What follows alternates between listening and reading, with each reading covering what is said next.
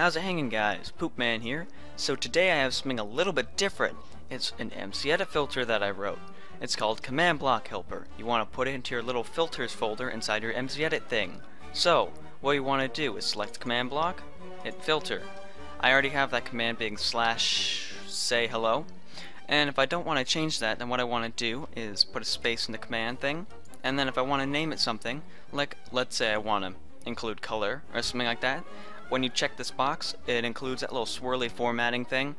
So, I'll just do slash A, Bob. There we go. Hit filter. Go back over, and if you hold down Alt, you can see what's in there. The command name is now Bob, and at the end, it automatically puts in a little reset thing so it doesn't affect your command afterward.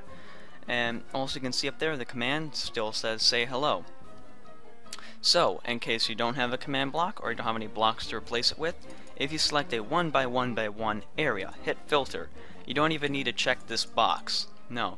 And I'll just delete the name right there, put a space, if I don't want it to be changed, uncheck that, and I'll just even do say, oh whoops, spelt that wrong. So, oh, space, say, slash, 4, hello. And see how I didn't check that? Watch if I hit filter, and hold down Alt, it's it says say slash 4 hello, so it didn't change the name at all, and the name is still the at a symbol. So that's good. And I'll just deselect that. And over here, oh, oh, whatever, okay, selected it. And let's say I just want to replace in the region the black wool. I'll hit filter, and I'll go back around. I'll, I'll just keep doing the slash say commands. I'll make it say hello, and I'll just slash a blah. There we go and I won't check the uh, this thing right here, the format symbol, and I want to check replace block with command block. So I want to replace uh, 35, 15, that's the ID and data for black wool, and if I were to hit filter, it has replaced them. Now let's say I just want to change the name, as what I did in like the first example. I'll just do a space there. I can actually do up to seven spaces. And let's do the name slash oh whoops backspace again to check the format symbol and I'll actually change it to T. So if I were to do T 3 blah. And let's say I didn't know what a format thing was. Maybe I want it to be bold. I can do my little wiki thing right here because that's whole filter. I'm trying to help people with it it shows you the player selectors the arguments the format codes colors and enhancements game rules, and disabled or unavailable commands within command blocks. Also underneath tips, as a few tips with command blocks. I'll probably add more in the future in like little updates that I won't do videos on. And same with help. It tells you how to use the filter and also just in case an error pops up, what what's that from and stuff like that and tells you how to fix it. So, I replace that, now let me just do the name, and I'll do spaces, T, 6, blah, there we go again. I'll hit filter, chunk, blah. Oh, yeah. See, this is the error that I was talking about. There is no longer any um, black wool in there, so I'll just uncheck that. And so now if I hit filter with it, it'll just change the command blocks in here. I deselect, and I hold down Alt, there we go, change the name. and so, now let's say you already have um, a line is something that you want. Here's like a button, here's your line, and you want to do all your command blocks in MC Edit. Just select what blocks you want it to be replaced with it. Hit the whatever with it. I'll just not change the name.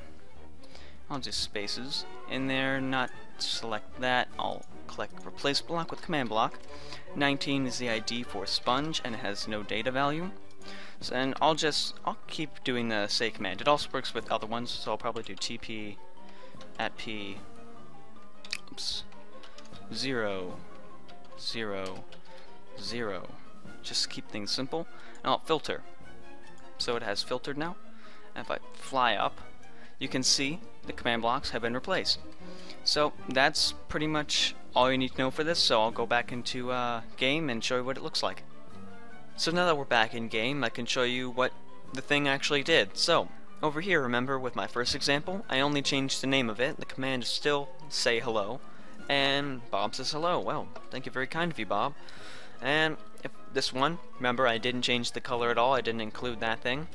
So, if I were to push the button again, just says slash 4 hello. That's a bit odd, only robots say that kind of stuff. Uh, then this one, Frishmana, uh, hello, slash A Frishmana, there we go. And this one says the exact same thing. There we go. And this one over here just teleports me relative absolutely nowhere to my location and actually what that does is completely stops our movement. So if I were to move along and do that, I completely stop. Yeah, so that's good. That's maybe you could you guys could use that for maps maybe if you want people to stop moving or something. So that's all I have to show you for this filter. Hopefully you guys find it useful and the key thing about this filter is that I didn't just want it to make it be, you know, writing command blocks or change names or stuff like that. I want it to be a command block helper. That's why I include the wiki and tips with it. And again, there will probably updates randomly that I won't do videos on with more tips and stuff like that that will come into the filter. So, hopefully you guys enjoyed this video.